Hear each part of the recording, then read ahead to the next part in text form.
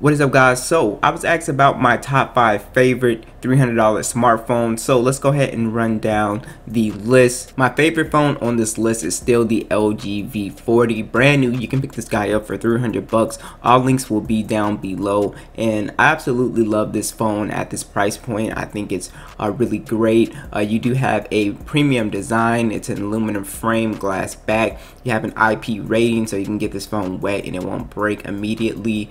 And you also also have a POLED display. It's a 6.4 inch display, 1440p display, 537 for the PPI. Absolutely beautiful display here. You get very punchy colors, deep blacks, and I just love the display on this. It's super sharp. Uh, this is upgradable to Android 10, but depending on whether you're on the AT&T version or unlocked version, I think mine's is the Sprint version. Uh, the update varies, so I know people have got it on AT&T, haven't got it unlocked, so uh, you will get the update eventually. Uh, but you do have the Snapdragon 845 and the Adreno 630 on here. Basically, this makes it a very, very good gaming phone. So you can play games on high, have a full gaming test, Fortnite, Call of Duty, PUBG, whatever. You will be able to play on high settings. So it can handle pretty much most games no problem. Uh, you do have micro SD support in 64 gigs of internal storage and 6 gigs of RAM. So this phone runs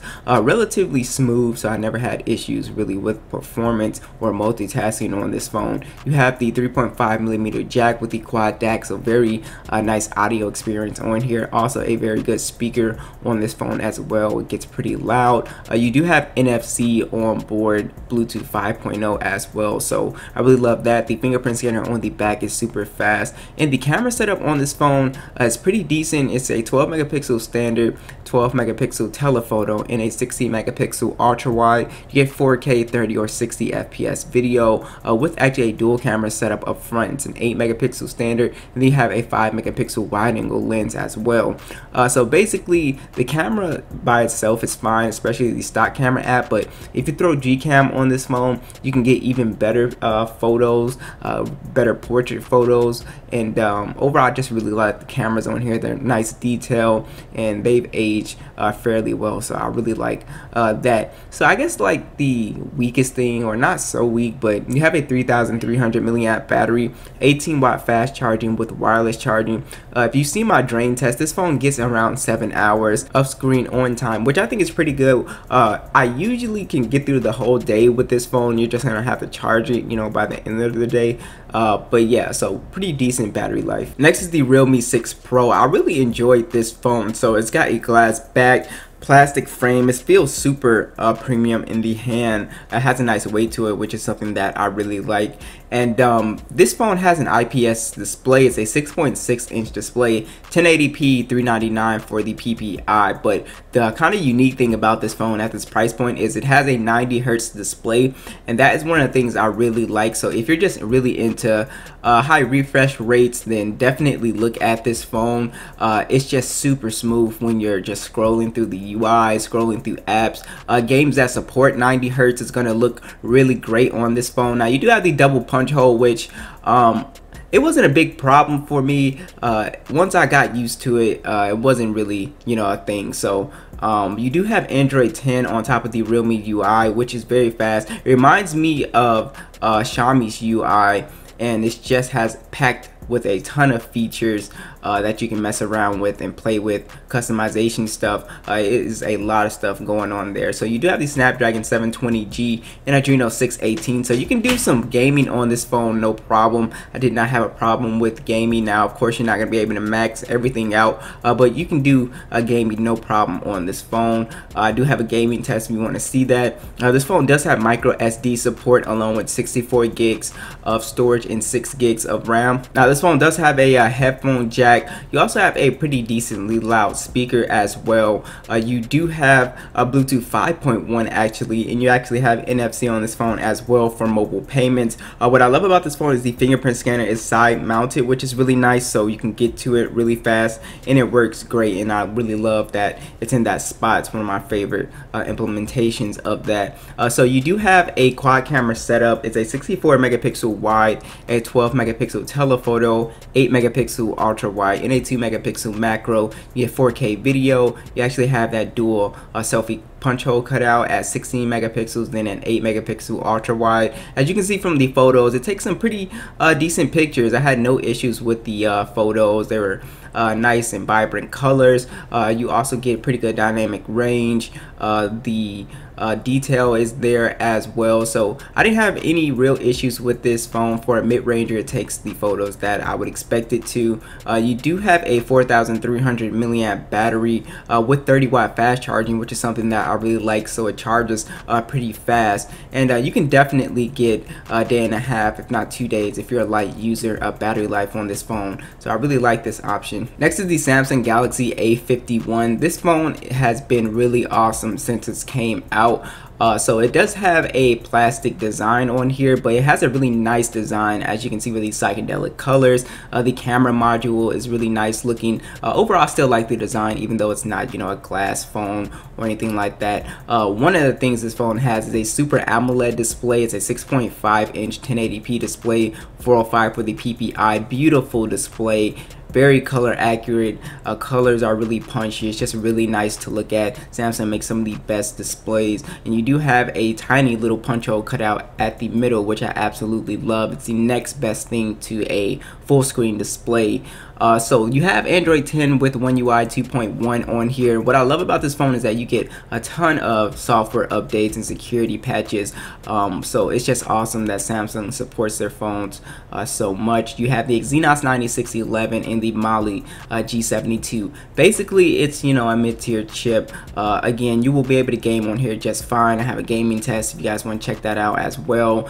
And uh, you can play pretty much uh, most games on high to medium settings, no problem Uh, so I did not have any performance issues with this phone. It runs uh, relatively smooth. You do have micro SD support, 64 gigs of storage and 4 gigs of RAM on this phone. Uh, you do have the headphone jack and a pretty decently loud speaker on here. Bluetooth 5.0 with uh, NFC on board for your mobile payments. You actually have a in-display fingerprint scanner on this phone, which I really love. I think that's uh, really cool to have on any phone. Now, it's not going to be faster than a physical fingerprint scanner scanner uh, but if you do it right it works 100% of the time no problem uh, this phone probably has one of the best cameras uh, on this list you have a 48 megapixel wide a 12 megapixel ultra wide 5 megapixel macro and a 5 megapixel depth sensor shoots in 4k 32 megapixel selfie. Uh, you get some very punchy colors on here, the classic Samsung color. Uh, dynamic range is really good, detail is there. These are some just some really great uh, pictures that you can get out of the A51 and Samsung's always improving the uh, camera software and stuff like that the image processing. So uh, this is just a super solid camera uh, especially for video as well. I think it takes some pretty good video too. Uh, you do have a 4000 milliamp battery with a 15 watt fast charging. Now I can easily get through a day uh, with this phone but I would rate it at about like a day and a half. I wouldn't say two days of battery life at all. But you can definitely get some really solid battery life out of here so this is not a phone you're going to be running to the charger with next the newest addition is the Moto G9 Plus. Now, I've been enjoying this phone even though there are some things that are a little iffy about it. Now, you do have a plastic design on here, which is a pretty big phone. It's a heavy phone, so it does not really feel cheap. It has kind of like a matted uh, texture to the back so you don't pick up a lot of fingerprints, which is something that I like. You have the trendy camera design as well, which is something that I love as well. Uh, now, here's the best part about this phone. It's a 6.81 inch display. Display is absolutely massive. It's the biggest display uh, on this list. It's just a huge phone in general. Uh, so if you like big phones for 300 bucks, this is one of the biggest that you can get. Uh, it's 1080p 386 for the PPI.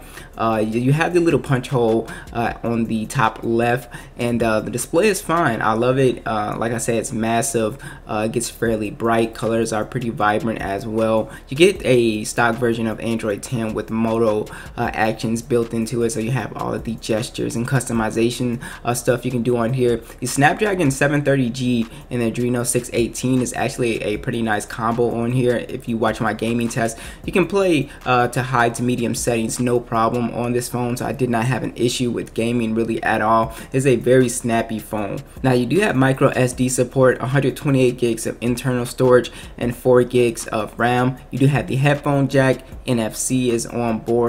Uh, you also have the fingerprint scanner side mounted, which is really nice. So I love uh, all phones that do that. Uh, now, the downside to this phone is the camera. So you have a quad camera setup, it's a 64 megapixel wide, 8 megapixel ultra wide, 2 megapixel macro and a 2 megapixel depth sensor 4k video and then you have that selfie camera at 16 megapixels 1080p uh, so basically the cameras are okay they're not great um, there's just not a lot of detail. Colors don't seem super vibrant. And um, yeah, it's the same thing for video and the front facing camera. There's just not a lot of detail. It's lacking. So it's just not the same camera we saw with the G8 Power or the G8 Plus, uh, which is a downside. But I do like the upgrades that they made with this phone, especially the uh, 5000 milliamp battery is huge. You have 30 watt fast charging. So this phone lasts for you know a long time at least two days of battery life you can squeeze out of this phone uh, no issues at all. So I really love this phone if you're looking for a just gigantic phone. Last on the list is the OnePlus 6T this phone has really flown under the radar.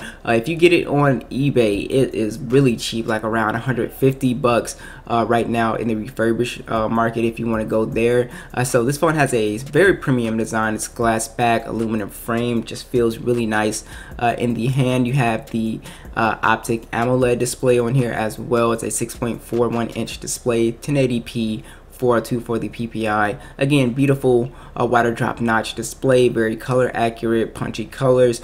Uh, you do have Android 10 with Oxygen OS 10.3.1 and I absolutely love Oxygen OS. It's one of my favorite skins. It's very clean, very fast, gets a lot of updates and uh, there's a lot of customization and features in here as well that I think are really useful. You have the Snapdragon 845 and Adreno 630. Again, this is another phone that you can play games on high with, uh, no problem at all. So this phone does not have any expandable storage, which kind of sucks, but you have 128 gigs of internal storage and 6 gigs of RAM. Now the speaker is pretty decently loud, but this phone does not have a headphone jack, uh, which kind of sucks. Uh, now you do have NFC on board as well for mobile payment. You actually have an in-display fingerprint scanner, which is pretty fast, which is something that I really love. You have a dual camera setup, 16 megapixel and a 20 megapixel lens, 4K video, 16 megapixel selfie camera. The cameras on here are actually very good. You get really nice color uh, detail. It's really sharp as well. Dynamic range.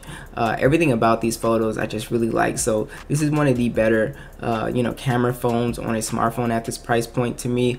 Uh, you do have a 3,700 milliamp battery with 20 watt fast charging. Uh, basically, the battery life is really good on here. You can get through a day of battery life, uh, no problem. I would have it at like a day, day and a half depending on how you use it. But thanks for watching. Let me know what you guys think, and I'll catch you guys in the next one.